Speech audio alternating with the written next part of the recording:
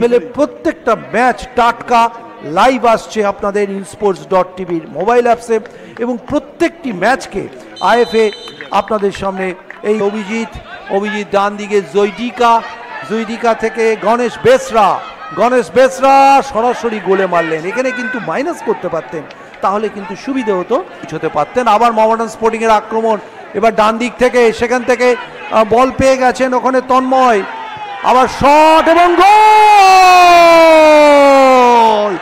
Mohammedan sporting থেকে বারুই, সাহেব বারুই আক্রমণ শানাবার চেষ্টায়। সাহেব ইনসাইডে বল দিয়েছেন, এখানে কিন্তু ভালো জায়গায় ওখান থেকে শট নিয়েছিলেন কিন্তু কিন্তু বল নিয়ে বেরিয়ে আসার চেষ্টা করছেন সাঙ্গা, লাল লালরেম সাঙ্গা, একটু সময় নিয়ে ফেললেন, আরেকটু দ্রুত গতিতে এলে কিন্তু সুবিধা হতো। সেখান থেকে সেন্টার এবং গোল! ব্লেমস্টন আফানসো ভালো একটা টাচ ফরওয়ার্ড বল এক্ষেত্রে কিন্তু সরাসরি গোলরক্ষক। হয়তো ভেবেছিলেন পদ আক্রমণ শানাবার চেষ্টায় ডান দিক থেকে। ডান দিক থেকে খুব ভালো বল জুইডিকার জন্য। জুইডিকার সেন্টার এক্ষেত্রে গোল হতে পারে এবং গোল! তিন নম্বর গোলটি কিন্তু এসে গেল।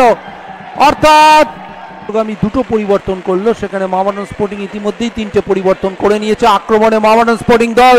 চতুর্থ গোল আসতে পারে। ক্রস পিসে বল লেগে মাঠের বাইরে চলে গেল। এক্ষেত্রে সাঙ্গা, সাঙ্গার শটও কিন্তু এখনও রয়েছে। সামাদ আলী মল্লিক, ব্লকিং।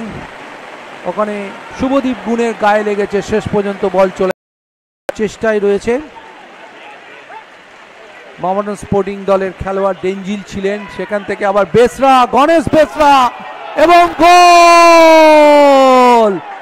গণেশ বেসরা এবং লিগ টেবিলে তারা কিন্তু কালীঘাট এমএসকে ধরে ফেলবে। কালীঘাট এমএস দশটা ম্যাচ খেলে একুশ পয়েন্ট অপরদিকে ডায়মন্ড হারবার, তারা দশটা ম্যাচ খেলে তেইশ পয়েন্টে রয়েছে। রিয়াল বল কিন্তু গোলকিপারের ক্যাচেবল হাইট পদম ছেত্রী এবং সেই সঙ্গে সঙ্গে রেফারি অরবিন্দ বেরা লম্বা বাঁশি বাজিয়ে জানিয়ে দিলেন যে আজকের ম্যাচ শেষ নৈহাটির বঙ্কিমাঞ্জলি স্টেডিয়ামে মোহামেডান স্পোর্টিং যোগ্য দল হিসাবে নিজেদের সর্বক্ষেত্রে শ্রেষ্ঠত্ব প্রমাণ করে চার শূন্য গোলে টালিগঞ্জ অগ্রগামীকে বিধ্বস্ত করল।